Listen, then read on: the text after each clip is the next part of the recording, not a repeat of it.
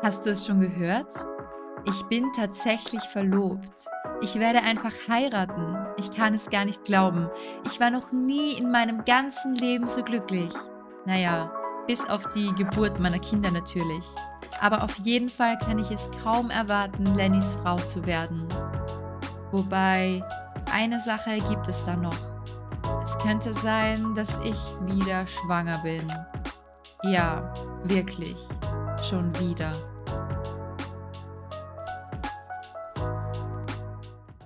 Hallo, ich bin Elienix und das ist der 27. Part meiner 100 Baby Challenge. Viel Spaß! Hallo und herzlich willkommen zurück bei unserer 100 Baby Challenge. In den letzten zwei Parts ist meiner Meinung nach relativ viel passiert. Also Emma ist mit Lenny verlobt, sie ist außerdem vielleicht schwanger, dann hat Violet noch einen neuen Love Interest oder irgendwie gleich drei, wenn ich mich richtig erinnere. Also wir haben ja diese Hausparty gefeiert und irgendwie hat Violet mit allen geflirtet oder wollte mit allen flirten? Ja, aber ich bin derzeit gerade ein wenig am Vorproduzieren, deshalb weiß ich eure Meinung zu diesen ganzen Sachen leider noch nicht. Also ihr könnt sie mir gern auch noch hier jetzt unter diesem Video dalassen. Auf jeden Fall wird Emma in diesem Part ihrer Familie von ihren Hochzeitsplänen erzählen. Ich habe mir dafür auch extra das Hochzeitserweiterungspack gekauft, also dann können wir die Hochzeit auch wirklich riesig planen. Und außerdem müssen wir natürlich herausfinden, ob Emma schwanger ist. Außerdem möchte ich mich an dieser Stelle bei euch nochmal für den erfolgreichen 10-Stunden-Stream auf Twitch bedanken. Danke, dass so viele von euch da waren und danke, dass ihr euch so aktiv an allem beteiligt habt. Falls ihr ihn verpasst habt und gerne bei zukünftigen Streams dabei sein möchtet, folgt mir sehr gerne auf Twitch. Aber dann starten wir jetzt in den Part hinein. Und so starten wir in den Tag hinein. Emma und Lenny sind derzeit noch in Mount Comoraby und sie hat sich gerade in den Finger geschnitten. Wow. Oh, aber dafür hat sie jetzt die Feinschmecker-Kochfähigkeit erworben. Das ist ja auch eines unserer Ziele, da sie die Kochfähigkeit ja schon maximiert hat, wenn ich mich richtig erinnere. Äh, genau.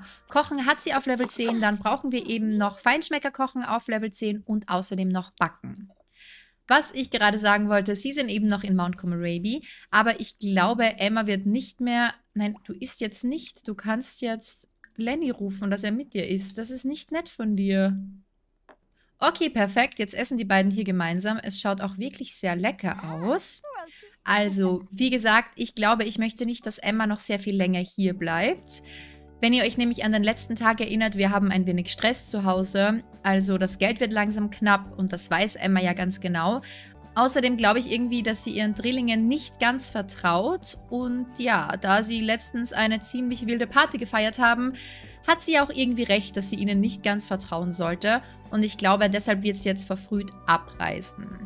Und dann kommt ja noch dazu, dass sie ja den Verdacht hat, schwanger zu sein. Und wir wissen ja, dass Lenny derzeit keine Kinder haben möchte. Ich glaube, deshalb werden wir das jetzt nochmal ansprechen. Zuerst werden wir einmal über die Hochzeit reden. Oh, die beiden sind so süß. Und dann werden wir ihm einmal nach Kinderwunsch fragen. Oh. Irgendwie haben sie sich schon jetzt nicht sonderlich gut verstanden und er steht jetzt auch einfach auf. Vielleicht vermutet er ja auch irgendetwas. Also ich könnte mir vorstellen, dass man das Emma ein wenig anmerkt, dass sie nervös deshalb ist. Und dann werden wir einmal über Babys sprechen. Gut, Lenny hat sich jetzt hier an diesen Computer gesetzt und Emma versucht jetzt nochmal mit ihm über das ganze Thema zu sprechen. Dann kann sie ja noch einmal von bevorstehender Hochzeit schwärmen, einfach damit sich die Stimmung zwischen den beiden ein wenig auflockert. Okay, ah, jetzt fragt sie ihn. Ich möchte momentan keine Kinder. Okay, also seine Meinung hierzu hat sich nicht geändert. Ja. Ich denke, Emma hofft insgeheim wirklich sehr, dass sie diesmal nicht schwanger ist. Stimmung hat sie deshalb jetzt tatsächlich noch keine. Also sie fühlt sich durchaus glücklich und inspiriert, weil sie eben mit Lenny unterwegs ist, weil sie jetzt verlobt ist, weil sie über Babys geredet haben. Also sie verstehen sich gerade wirklich gut. Aber jetzt wird sie ihm halt einfach sagen, hey, sorry, ich muss jetzt leider gehen, ich muss mich um alles kümmern. Und deshalb werden wir ihm jetzt einfach die dramatische Geschichte erzählen, dass sie die Vermutung hat, dass zu Hause jetzt alles drunter und drüber geht. Vermutlich liegen überall Spielzeugdinosaurier herum und das Puppenhaus ist zerstört. Ich glaube, wir haben gar kein Puppenhaus. Und vielleicht gibt es auch einen wilden Bär, der dorthin kommt. Ja. Emma tischt ihm auf jeden Fall irgendeine wilde Geschichte auf. Und wir werden uns jetzt wieder auf den Weg nach Hause machen. Und dann sind wir jetzt wieder auf dem Weg nach Hause. Emma muss sich nämlich ganz dringend um alles kümmern und Geld verdienen. Und ich glaube, heute am Abend machen wir am besten so ein kleines Familienfest, damit sie einfach allen von der bevorstehenden Hochzeit erzählt. Und irgendwann müssen wir dann natürlich auch noch den Schwangerschaftstest machen. Aber ich glaube, jetzt ist sie noch nicht bereit dazu. Also wir werden noch ein bisschen warten. Vielleicht heute Abend nach dem Familienfest. Gut, wie geht es denn überhaupt den Kids? Gut, Rose braucht Aufmerksamkeit. Dann wirst du jetzt einmal Rose eine lustige Geschichte erzählen. Dann werden wir sie trösten und ihr einmal den Tag verschönern. Oh, unsere Lautsprecher sind kaputt. Keine Ahnung warum. Anscheinend sind die bei der Party kaputt gegangen. Jared geht es allerdings ziemlich gut, aber zudem kannst du natürlich auch noch Hallo sagen. Und dann werden wir ihn einmal kennenlernen. Haru schreibt uns jetzt eine SMS. Ich habe gehört, dass du dich verlobt hast. Herzlichen Glückwunsch. Ich freue mich so für dich und Lenny. Oh, das ist wirklich unglaublich süß. Ich meine, eigentlich wollte Emma es ihren Eltern selbst erzählen. Aber wer weiß, vielleicht ist Lenny ja sehr oldschool und hat ihre Eltern vorher um Erlaubnis gefragt. Auf jeden Fall kümmert sich Emma gerade um den Hof, also sie putzt jetzt gerade Betsy. Dann wird sie sich noch um die Hühner kümmern und dann müssen wir uns auch noch dringend um den Garten kümmern. Ist ja alles verdorben? Nein, okay, gut. Wir können hier jede Menge weiterentwickeln. Emma wird jetzt gerade angerufen, preisgekrönt. Ivy hat einen Schulpreis gewonnen. Sollen wir ihn ihr vor der Klasse oder lieber still und diskret überreichen? Oh, ist das süß. Aber wir wissen ja, wie Ivy ist, deshalb glaube ich, wir entscheiden uns für ganz diskret, bitte. Die Schulsituation wurde abgeschlossen. Ivy hat die Belohnung Hochleistungskarnickel in ihrem Inventar erhalten. Was ist das? Oh, das können wir uns natürlich erst ansehen, wenn sie wieder da ist. Violet hat jetzt auch eine SMS bekommen, während sie in der Schule ist, von ihrem Vater. Hey, ich habe gehört, dass du dich mit Sarah Fang angefreundet hast. Sie ist ziemlich cool. Ich glaube, ich habe damals ja sogar vermutet, dass die beiden sich kennen und anscheinend kennen sie sich wirklich. San Maishuno ist ja nicht so groß, anscheinend haben sie sich schon irgendwo mal kennengelernt. Okay, die Schule ist vorbei, die Drillinge sind wieder da und anscheinend läuft es für alle gerade nicht so gut in der Schule. Das überrascht mich ein wenig. Oh, das liegt wahrscheinlich daran, dass gestern die Party war und alle Hunde müde sind. Ähm, Daisy muss aber auch gleich wieder los, denn sie hat in einer halben Stunde Cheerleader-Training. Wie sieht es bei den anderen aus? Ja, gut. Violet kann dann einmal duschen gehen. Wieso trinkt Coco aus dem Klo? Äh, können wir ihm sagen, dass er das nicht machen soll? Okay, Violet kann es ihm leider nicht sagen. Keine Ahnung warum, aber sie geht dann einfach gleich mal schlafen. Ivy hat ja nicht so viel gefeiert, deswegen geht es ja eigentlich gut. Sie kann ihm über Spielen im Müll belehren und über Trinken aus Toilette belehren. Dann kannst du das gleich mal machen. Dann kannst du ihn einmal umarmen und dann gehen wir einfach mit ihm spazieren. Und zwar machen wir einen kurzen Spaziergang mit ihm. Es sind nämlich noch sehr viele andere Dinge, die wir heute erledigen müssen. Und Emma hat jetzt jede Menge Sachen im Inventar. Die werde ich alle gleich mal in den Kühlschrank geben, zumindest die, die Sinn machen. Basilikum, Salbei, nicht daherlegen, in den Kühlschrank. Äh, okay. Irgendwie möchte der Salbei nicht in den Kühlschrank? Doch. Gut. Dann noch die Äpfel und die Schokobeeren und die Birnen und die Weinreben und die Pilze und die Karotten.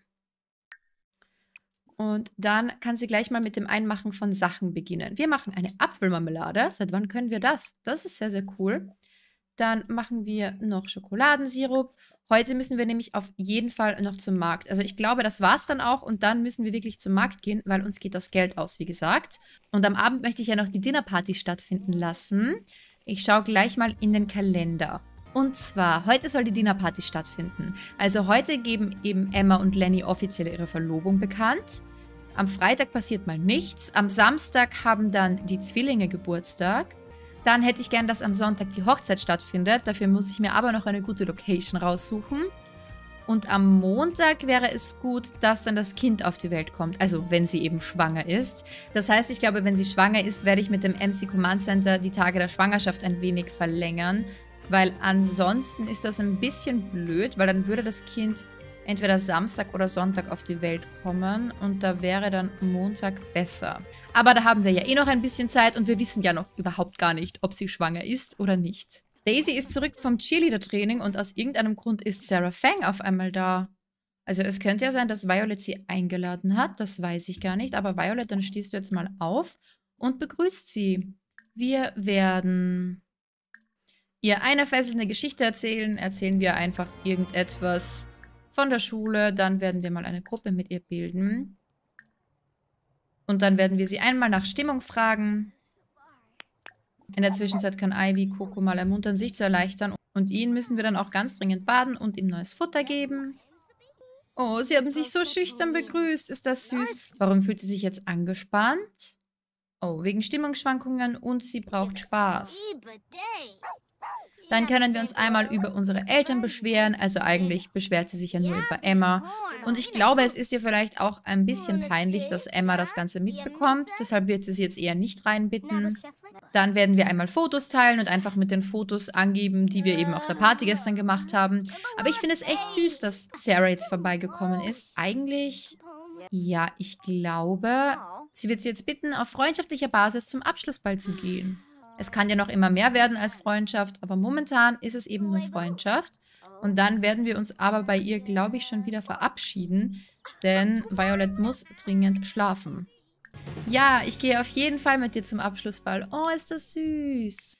Die Gerüchte sind wahr. Janet Peters möchte mit Violet Potter zum Abschlussball gehen. Wird sie mitgehen?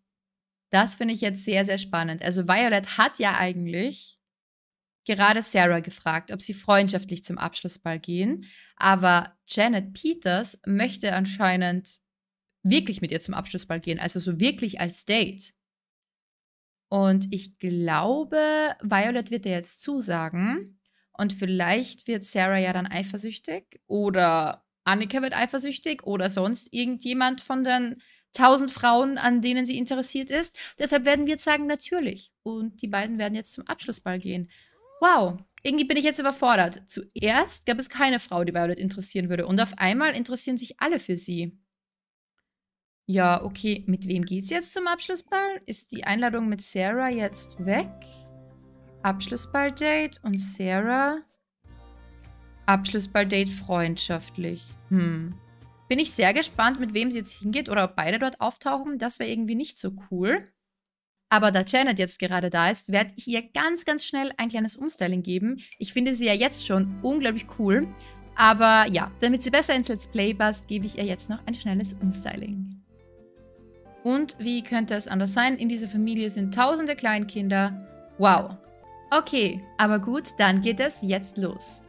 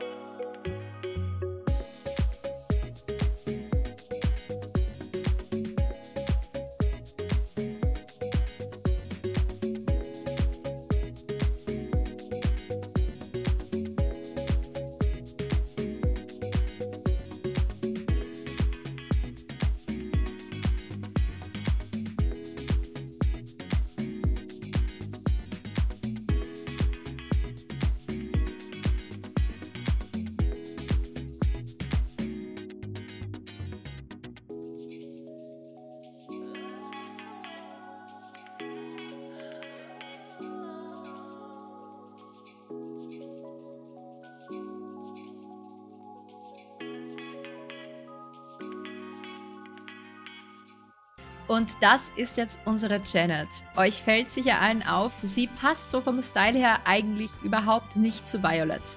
Also sie hat einen sehr braven und irgendwie auch sehr femininen Stil, würde ich sagen. Sie sieht ein bisschen so aus, so wie dieses klassische Mädchen von nebenan. Also irgendwie stelle ich mir so den Begriff Mädchen von nebenan vor. Ich meine, sie ist bildschön. Also Schaut euch ihr Gesicht an. Sie ist absolut wunderschön. Aber ob sie eben Violets Typ ist, weiß ich nicht unbedingt. Aber ich finde es trotzdem nicht unrealistisch, dass Violet jetzt mit ihr zum Abschlussball geht. Weil immerhin war Janet jetzt die erste, die wirklich aktiv Interesse an Violet gezeigt hat. Und Violet kennt das halt so nicht. Also bisher hat sie eher aktiv die Rolle übernommen, indem sie halt Interesse an anderen gezeigt hat. Und das lief bisher halt nicht immer so unglaublich gut. Und ja, vielleicht möchte sie deshalb einfach mal sehen, ob es mit Janet besser läuft. Aber wie immer, wenn ihr Ideen für irgendwelche Storylines habt, schreibt sie mir sehr, sehr gern in die Kommentare. Und jetzt bekommen wir die Benachrichtigung, Sarah Fang findet Violet Potter klasse und möchte beste Freunde werden. Okay, gut, dann seid ihr jetzt beste Freunde und mit Janet geht sie zum Abschlussball.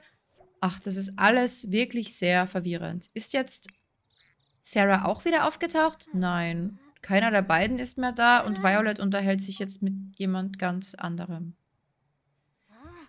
Sims ist wirklich ein sehr kompliziertes Spiel. Gut, Emma ist jetzt mit den Vorbereitungen soweit fertig und leider geht es sich auch nicht mehr aus, dass wir heute zum Markt gehen. Der hat nämlich leider schon geschlossen. Das habe ich natürlich wieder ganz verpasst. Aber egal, wir werden jetzt das Ereignis planen. Das wollte ich doch vorhin auch machen. Was habe ich stattdessen gemacht? Ich habe keine Ahnung. Aber okay, wir fügen das Ereignis hinzu.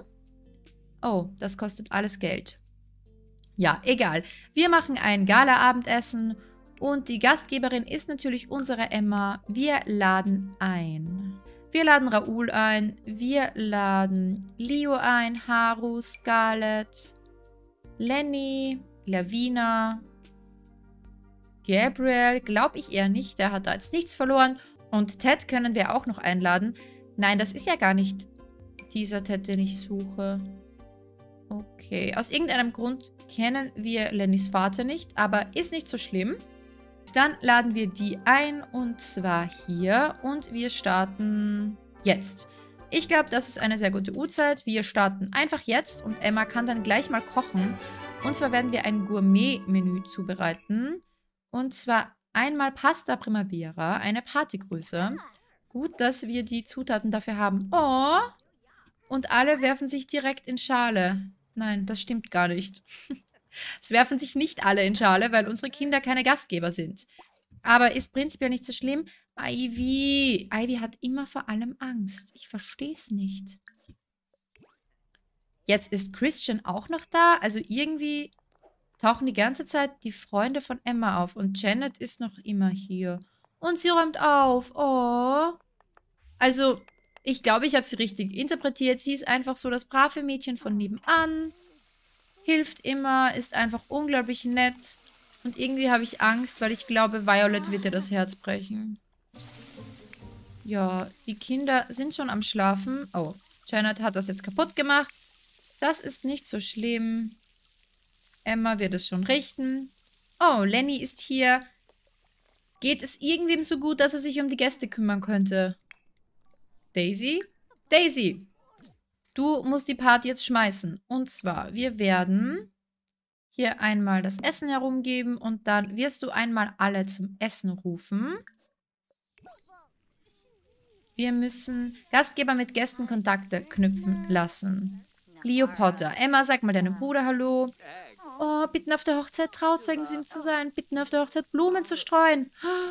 Okay, wir werden Leo jetzt einmal die Verlobung bekannt geben und bei Haru werden wir einen Witz über die Hochzeit machen. Ich glaube nämlich, Emma ist langsam ganz schön nervös. Also ich könnte es mir zumindest so vorstellen. Wir haben jetzt schon Gold erreicht? Aber umso besser, wenn alle Aufgaben erfüllt sind, dann können wir mehr Zeit mit unseren Gästen verbringen. Dann wirst du jetzt einmal mit Scarlett sprechen und wirst auch bei ihr einen Witz über die Hochzeit machen. Oh oh. Ist Emma schwanger und man sieht es schon? Sie hat jetzt nämlich auch die Stimmung für zwei Essen. Es ist aufregend, ein Leben in sich wachsen zu spüren. Oh oh. Wir wissen es ganz sicher, Emma ist schwanger. Eigentlich habe ich damit wirklich nicht gerechnet. Also ich weiß, ich habe sehr viele Mods in meinem Spiel, aber ich habe nicht versucht, schwanger zu werden. Aber okay. An dieser Stelle, ihr wisst, was zu tun ist. Bitte schreibt mir Namensvorschläge in die Kommentare. Und ihr könnt mir auch gerne in die Kommentare schreiben, was ihr glaubt, wie viele Babys es werden und welche Geschlechter diese Babys haben werden. Ja. Ich hoffe wirklich, es wird zur Abwechslung vielleicht mal nur eines, aber ja, das kann ich nicht beeinflussen. Aber dann werde ich jetzt noch schnell die Länge der Schwangerschaft umstellen. Falls ihr euch fragt, wie das funktioniert, das geht mit dem MC Command Center Mod und dann braucht ihr auch einen Computer. Deshalb habe ich jetzt schnell einen gekauft, den werde ich dann natürlich wieder verkaufen. Dann müsst ihr hier auf MC Pregnancy gehen, andere Schwangerschaft und dann hier ganz unten Schwangerschaftsdauer. Und vom Spiel dauert es jetzt eben normalerweise drei Tage.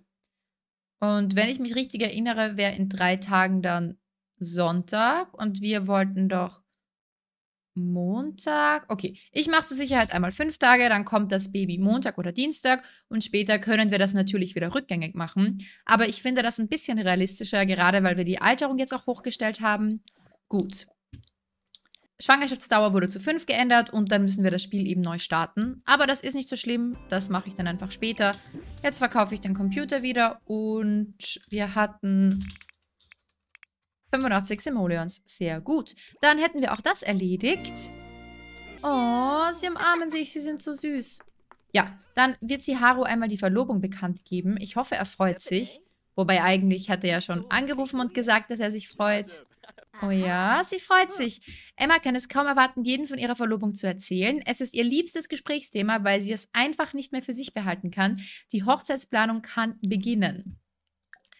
Lenny haben wir auch noch gar nicht Hallo gesagt. Dann werden wir ihn einmal die ewige Liebe erklären.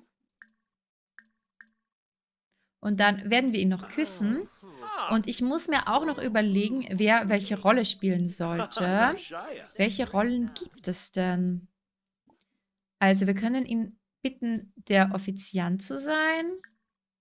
Können wir noch was? Bitten Blumen zu streuen, bitten auf der Hochzeit Trauzeugensim zu sein, bitten auf der Hochzeit den Ring zu tragen. Es gibt so viel. Ich weiß jetzt ehrlich gesagt auch gar nicht, was was ist. Ich meine, es wäre natürlich süß, wenn die Kleinen die Blumen streuen würden. Vielleicht bitten wir dann Haru, dass er der Offiziant ist und ihre Mutter bittet sie, dass sie die Trauzeugin ist. Ich glaube, das wäre ganz cool. Aber ich habe das eben noch nie gespielt. Wie gesagt, ich habe das Pack erst seit heute. Das heißt, wenn ihr da irgendwelche anderen Vorschläge habt, schreibt es mir sehr, sehr gern in die Kommentare. Gut, dann bittet sie jetzt Scarlett, die Trauzeugin zu sein. Und? Sagt sie ja. Oh, das sieht sehr, sehr gut aus. Ist jetzt die Trauzeugin? Bekommen wir darüber keine Benachrichtigung oder so?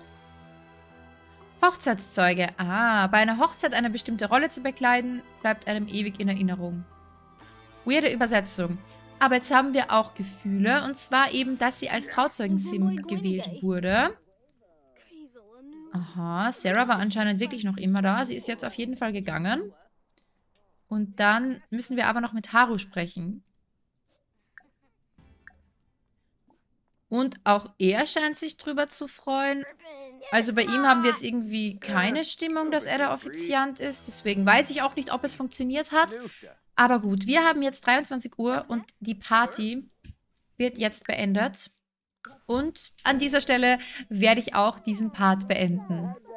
Und nun sind wir schon wieder am Ende meines Videos angelangt. Es ist einfach so viel passiert.